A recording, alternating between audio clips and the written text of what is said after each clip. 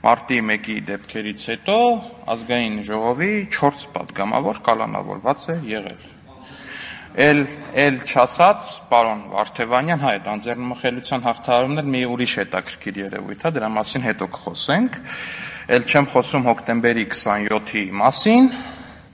երբ падգամավորները ոչ թե կալանավորվում էին, այլ սպանվում ազգային ժողովի նիստերի դահլիճում պարոն Վարդևանյան։ Երկուսն է իդեպ ձեր քաղաքական առաջնորդի նախագահության տարիներին։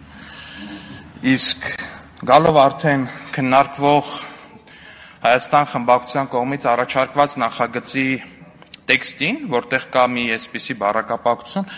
կառավարությանը կոչ ենք անում Հայաստանի հայ ժողովրդի թիկունքում հակահայկական ինչ որ քայլեր եւ այլն, Պարոն Օհանյան եւ պարոն Մինասյան, առաջարկում եմ մի հատ տեքստ գրեք, որով Ռոբերտ Քոչյանին կոչ կանենք, օրինակ Ադրբեջանի իշխանությունների հետ չհամագործակցել, Հայաստանի շահերի դեմ ոչինչ չանել, բերել ավելացնել այդ տեքստին, ես խոստանում եմ ինքս անձամբ երեք ձեռքով կողմ կքվյարկեմ այդ նախագծին, падգամավորների շրջանում լոբինգ կանեմ, որպեսզի կողմ քվյարկեն այդ նախագծին, ինչ ասեմ։ Չեք անում։ Ձեր որտեղ ձեր պատկերացմամբ այդ իբր նորմալ է, որ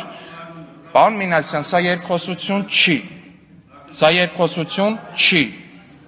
Իսկ ինչ վերաբերվում է ձեր հաղորդման մասին դատախազություն, ասեմ, այո, պատրաստ եմ, շատ ուրախ կլինեմ, եթե դատախազությունը սկսի քննություն, որի ընթացքում կպարզվի, թե ինչպես է ստացվում, որ սահմանային լարվածությանը զուգընթաց Հայաստանի Հանրապետությունում, Երևանի կենտրոնում մի խումբ մարդիկ կրակոցների հետ զուգահեռ վարկյանական սիմետրիայով ու ճշգրտությամբ սկսում են պայքար Հայաստանի պետական իշխանությունների դեմ, սկսում են ինչ-որ միտինգներ ու հակապետական արտահայտություններ։ Շատ ուրախ կլինեմ, եթե այդ ամեն ինչը պարզվի։ Շնորհակալություն, պարոն Ալեքսանյան։ Մեր ընդդիմադիր գործընկերները տեղեկացրեցին, որ ամսի 14-ին նիստ են հրավիրելու եւ նոր Շնորհակալություն։ Ես անկեղծ ասած պատրաստվում էի հանել ելույթս, սակայն պարոն Աբ รา համյանը ելույթ ունեցավ եւ ցավոք լքում է դահլիճը, ես կուզեի կարճ անդրադառնալ վերջինիս ելույթին։ Իմ սուբյեկտիվ գնահատմամբ պարոն Աբրահամյանը թերևս ընդդիմադիր այն падգամավորների շարքին է դասվում, քիչ падգամավորների, ովքեր հաճախ ի զարմանս մերս բոլորիս որոշակի փաստական տվյալների հիման վրա է սովորաբար ելույթներ ունենում եւ կարելի է գնահատական հնչեցնել առայն, որ պարոն Աբրահամյանը նաեւ հաճախ որոշակի կոնստրուկտիվ էլեմենտներ պարունակող ելույթներ է ունենում,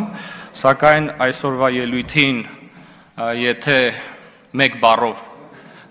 կարելի լինի բնութագրում տալ, դա կլինի սուտ։ Եթե երկու բառով կլինի սուտ եւ սուտ եւ կարելի է նույնիսկ երեք բառերով բառերով նկարագրել սուտ, սուտ եւ եւս մեկ անգամ սուտ եւ 0 հիմնավորվածություն ունեցող պաթետիկ եւ ծեծված տարիներ շարունակ ընդդիմադիրների հիմնազուրկ թեզերի արծարծում այս ամբիոնից ես ցավում եմ որ պարոն Աբրամյանը իջեցեց այն սանդղակը, որը որ սահմանել էր ինքն իր համար հավանաբար ինչ որ պահի, բայց թերևս պետք է արձանագրենք, որ մեր այսօրվա անդիմադիր падգամավորները չունեն այն ինքնուրույնությունը, որբիսի իրենք որոշեն իրենց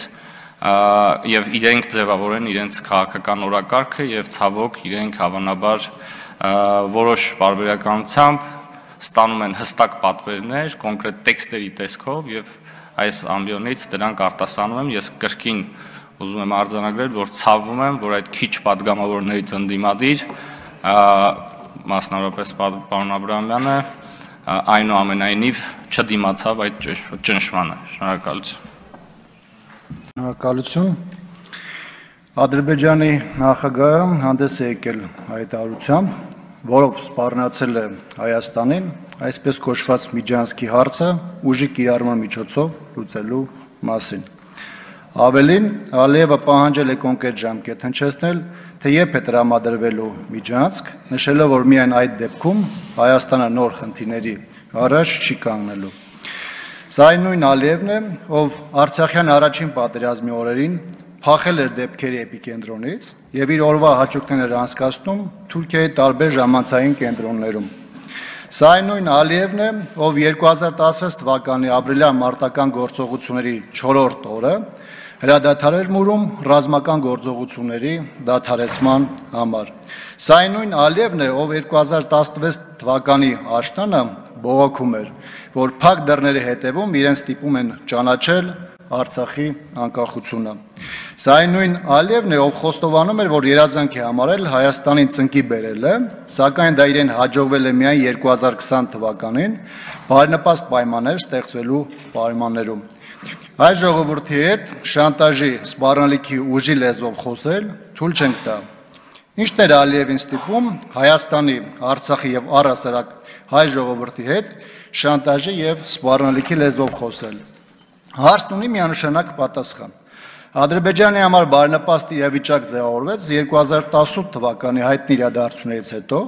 երբ երկրի ղեկը ստանձնեցին անձինք, որոնց հետևական ջանքերով երկրում դոմինոյի էֆեկտով փլուզվեց պետական ինստիտուտները, շրջանառության մեջ դրվեցին հայաստանցի Ղարաբաղցի, սևեր ու սպիտակներ, վտանգավոր թեզերը, ծավալվեց հակաղարաբաղյան շարժում, որը մեկի մյուսի հետևից կազմակերպեց պետականության հիմնասյուները։ Հայաստանի համար անվտանգություն ապահովող համակարգերը նպատակային ձևով շարքից հանվեցին, ընդ որում փլուզվեց հասարակական համերաշխությունը, հայ ոգին, միասնությունը, համախմբան ողջ պոտենցիալը։ Այսօր էլ այս իշխանությունը հանրությանը կանգնեցրել է նոր աղետի շեմին, որտեղ մեր ժողովրդին առաջարկվում է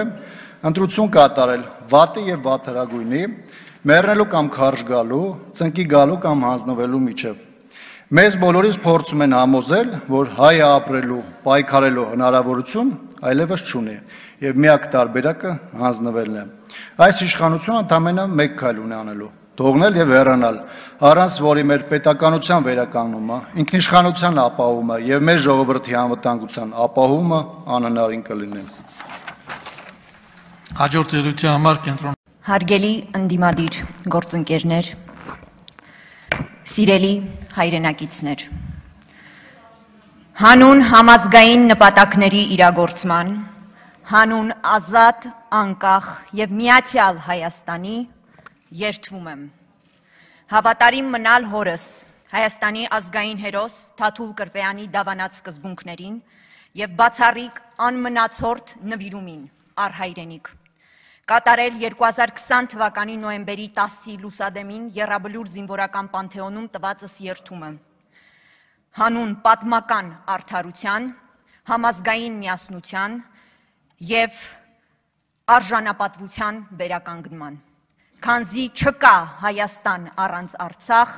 եւ չկա Արցախ առանց Հայաստան։ Հավերժական Հայաստան լինելու է